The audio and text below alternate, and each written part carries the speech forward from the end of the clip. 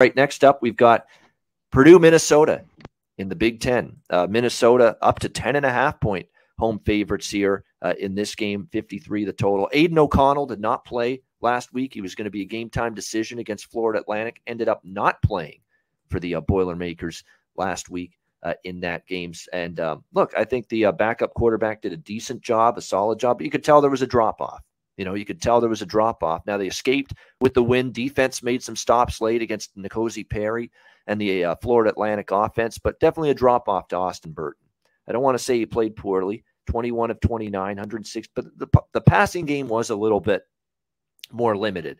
And Jeff Brohm was, you know, being a little bit more cautious with his play calling, I believe, with Austin Burton. So again, th- we're going to have to wait and see if Aidan O'Connell's ready to come back here uh, for this game. He was a game time decision. He's got the rib injury. You know that's painful. It's the kind of injury that probably uh, shouldn't have led to Justin Herbert playing yesterday, but that's another story. Uh, but yeah, the rib injury, you know, he played through it most of the Syracuse game. He's uh, uh, Jeff Brohm saying it could be next week. It could be a couple of weeks from now when we see Aidan O'Connell back. So keep your eye on that. I think the betting market's kind of moving on Minnesota, maybe assuming he may not play this week. We'll see. And look, this Minnesota team continues to play good football. And, you know, we said going into the Michigan State game, they had played nobody yet. They finally played, well, even though they've struggled, Michigan State's a step up from anyone they played before. And it was dominant 34 to 7. You know, 4 0 straight up, 4 0 against the spread this year for Minnesota under PJ Fleck. Tanner Morgan looks good. It's great to see Mo Ibrahim back. Uh, it's not an easy team to bet against right now, but they are laying double digits, and it's not like Purdue's chopped liver. The one concern, though, is Purdue is giving up 137, uh, is giving up, actually, they're only giving up 115 rushing yards per game. The run defense hasn't been that bad uh, for Purdue this year, and that's the strength of that Minnesota offense.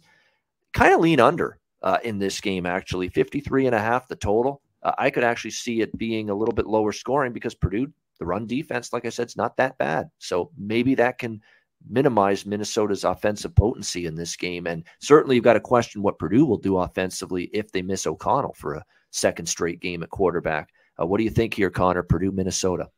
Yeah, this is a wait and see. I think O'Connell misses another game, but you know we'll wait on it.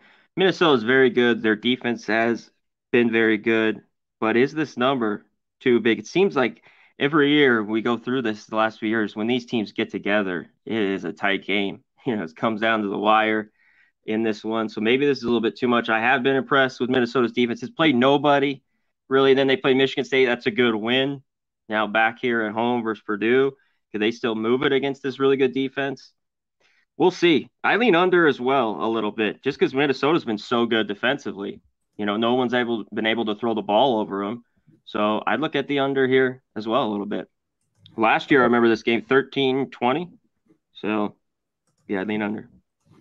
Lean under uh, the total here. Yeah, under 20 to 13 Minnesota last year. Uh, 34 31 Minnesota the year before 30. Uh, so again, you've that was that wild years. game, that pass yeah. interference game. Yeah, Remember? it was. Yeah. It's a good, good, great memory, CMAC. That's true. Uh, seven points or less uh, each of the last three years between these two teams. So, you know, that's what could make laying doubles a little tricky, even though Minnesota's looked good so far.